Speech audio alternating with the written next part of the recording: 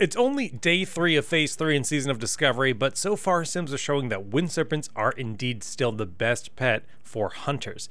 Corehounds, they seem pretty good, almost as good as wind serpents, but if you want to truly min-max, wind serpents are showing that they are the best, although it is still very early and things could change.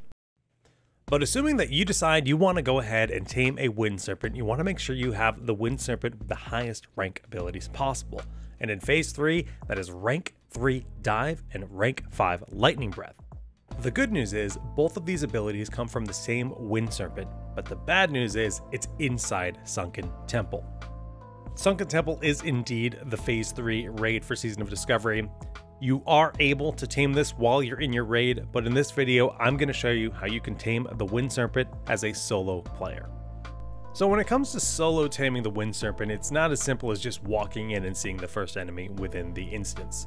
Um, we do need to get by several enemies in order to successfully locate the first Wind Serpent in the dungeon and then tame them.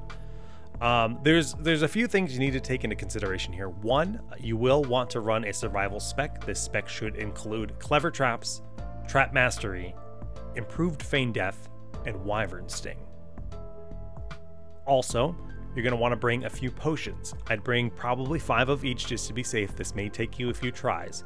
Um, invisibility and lesser invisibility potions uh, have a different cooldown. They're, they're on a separate cooldown. You'll want to bring both of them as we will be sneaking by several mobs. And last but not least, you just need to bring a pet um, that you will ultimately abandon. So we only have three stable slots, which is really rough, as um, I think there's a lot of interesting pets we could use. Well, namely, I'm interested in using Cat, Wind Serpent, and Corehound in this phase, and we have exactly three stable slots. So I brought my old Wind Serpent to abandon for the new ones with the higher rank spells. Okay, so when you first enter Sunken Temple, you want to head to the right and go down the ramp. There is a patrol here. We'll need to hit this guy with an ice trap. Um, just a note here, if this guy's at the lower end of the ramp, you probably want to wait for him to be towards the top of the ramp here because we need that frost trap to be off cooldown for the next group of enemies. One other small note is if you have a different configuration of enemies here, you want to actually just leave and reset the dungeon until you see these mobs that I have in front of me. Okay, here at the bottom of the ramp, we're going to actually send our Wind Serpent in to attack. Once he attacks, we're going to immediately pull him back and then run by. Get by the enemies, drop your frost trap soon after. Try not to get hit and staggered here. Hopefully our wind serpent dies. Mine's only level 40 and he hasn't died yet, which is kind of remarkable. And then we just need to get by this big guy and hopefully this slime doesn't kill us as well. So use your ice trap here to lock one down. Get to the wall. I'm going to use a health pot here just to be safe. And then feign right in this corner. Okay, so I'm feigned in the corner, but I did use a health potion, which means I need to wait two minutes for my potion cooldown to be available once again. But there's a few other things that we actually need to consider here. You'll notice I put a skull on that slime that patrols through. We need to keep an eye on that. I'm watching the minimap to see where he's going. He will actually patrol all the way to the base of that staircase we came down, and then he'll patrol back. So it's a very long, very slow patrol. Um, I'm gonna get up and just bandage, fully heal up here, and now I'm waiting on two things. I'm waiting until my Feign Death cooldown is just about ready, and I'm waiting for my Potion cooldown to be just about ready. So I'm actually going to Shadow Meld in this situation. You can stay feigned longer if you also use the Health Potion here. If you didn't, you can just start moving.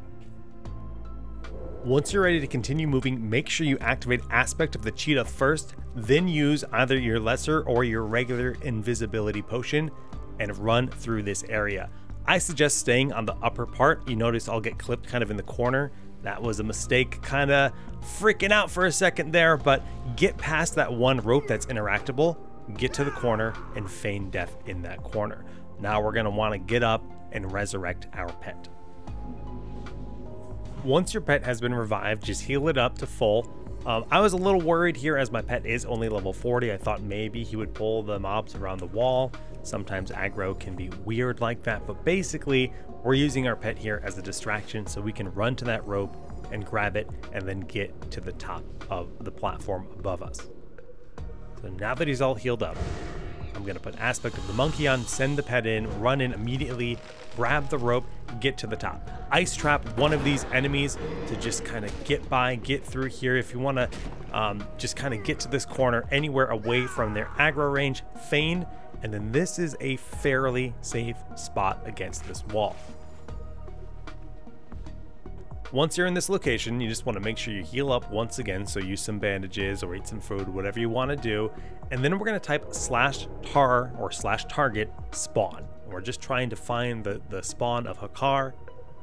And then we want to mark the spawn of Hakkar with a skull. Now, he was right outside the room at this moment, and I, I really was kind of afraid to go and grab him as there are other mobs waiting and lurking, and that would have been kind of problematic here. So, wanting to capitalize on the positioning and knowing he's right there, I used my invisibility potion, and that was a mistake. I should have waited for that slime that just patrolled into that path to come in and killed that slime right there. As a result, I got put myself in a situation where um, I started the fight with the spawn of Hakkar, this wind serpent, to try to get the kill. The slime immediately came up behind me, patrolling faster than I had anticipated, and that was far from optimal. So um, you don't want to do it this way. You do want to wait for that slime to dip into that room and then kill it. Use your pet, have your pet available for that, and, and get the slime out of your way. Once you've killed the slime and you no longer need it, it's time to say goodbye to your pet, abandon whichever pet you brought in with you because we will no longer need it here. Then you want to use the invisibility potion and get to this location here. Um, I'm just in a clear spot in the hallway and waiting for the spawn of Hakkar to patrol back. He will come back from the initial way he went. Um, again, in, in, my situation, I, I kind of bungled this and I was lucky to have Shadow Meld to let the slime patrol by, but the actual taming process is as follows. You want to actually open with Wyvern Sting, put him to sleep, drop a freezing trap, then start the taming process. The freezing trap is really just your backup, your fallback. The Wyvern Sting will more or less be enough time for him to be tamed. Um, in this situation, uh, I get the tame through just about as he gets to me, like maybe a second later, and I now have the slime attacking me. But assuming you did this in the correct order and you already killed the slime, you don't have to worry about that. You've now tamed yourself a Wind Serpent with rank 5 Lightning Breath and rank 3 Dive, which will be potentially your ideal pet here for Phase 3. Um, I will be exploring and comparing the Wind Serpent and the Core Hound and even cats going into this phase. Um, it's still kind of unknown if we're going to see like a Lone Wolf, Melee Weave, Hunter playstyle be the best playstyle or if we're going to see Beast Mastery ranged um, be the best playstyle for Ranged Hunter. Melee Hunter is looking very strong, but Ranged Hunter is looking much stronger than it did in Phase 2. Um, there's still a lot of testing, a lot of things to figure out on that front, but those videos and that information will be to come. Thanks for watching. Like and subscribe if you enjoyed the content. Good luck out there, GG's, and have fun.